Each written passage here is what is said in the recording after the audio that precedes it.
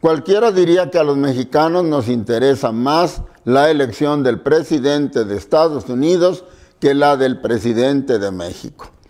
En relación con los medios, creo que esto se debe al férreo control que los centros de poder mundial ejercen sobre los medios más importantes del mundo.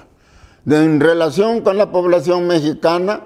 creo que de una parte la explicación reside en nuestro colonialismo cultural que nos hace ver en los norteamericanos a los fuertes, a los poderosos, a los vencedores y admirarlos quizás más allá de lo conveniente. Y también estas elecciones en particular le interesan a los mexicanos porque, si no me equivoco, la inmensa mayoría quiere que gane Biden